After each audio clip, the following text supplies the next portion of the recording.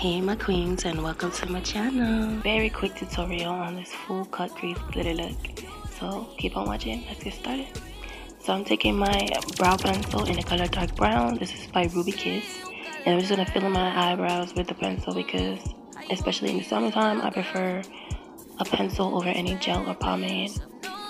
And it lasts so long you guys. I don't even have to like set it with any setting powder or anything. So this is my preferred, my go-to brow pencil like every day. So I'm just gonna fill it in and then I'm gonna clean it up with some LA Girl Pro Concealer and this is in the color Fawn. And I'm gonna clean up the bottom, just swiping it across, making it neat and shaping it as well. And then I'm gonna take the leftovers from what I use on the bottom and just go ahead and clean up the top with it. I clean up the top with the same color that I use the bottom because anyway, when you put on your foundation, you're gonna pretty much cover any what's up, whatever you put on the top with it anyway. So it's not really gonna look that light.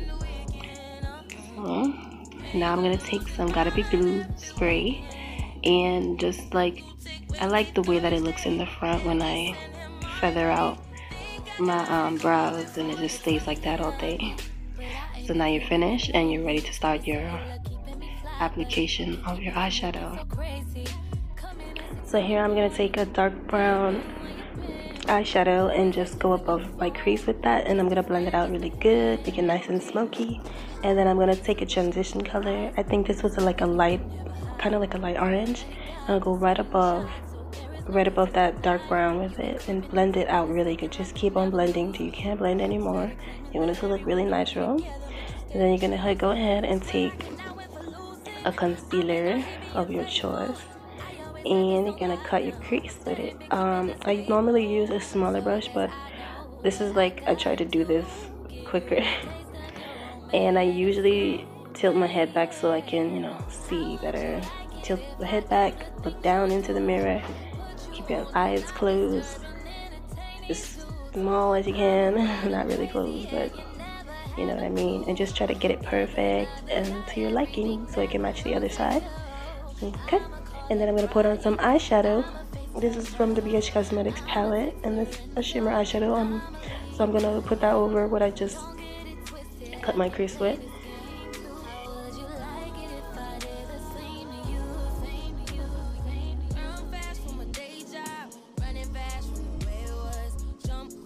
So now I'm going to get my glitter glue from NYX in a nice fine holographic glitter called Golden Eye. I got this from glittermyworld.com and I'm just going to start at the very edge of where I cut my crease and I'm going to apply the glue very very thin layer. You don't want it to be thick because then it's going to crack and crease and you don't want that. It's going to look nasty.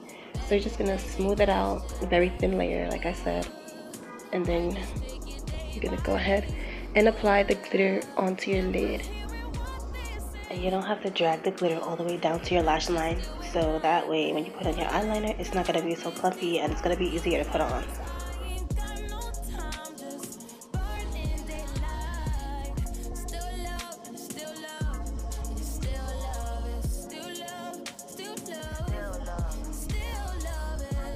So I'm just going to take the same dark brown from the eyeshadow palette and just go around the glitter to define it. And then I'm gonna go ahead and take a liquid eyeliner. This is from NYX as well. And I usually prefer to use a gel liner but for the glitter you're just gonna use the liquid so that it goes on easily and it doesn't wipe off any glitter that you already did. Okay so that's it for the eyes, you guys. Thank you for watching. Please like and subscribe, and also follow my Instagram MUA page where you'll find more pictures and videos. And also, you can book me if you're in the NYC or Connecticut area.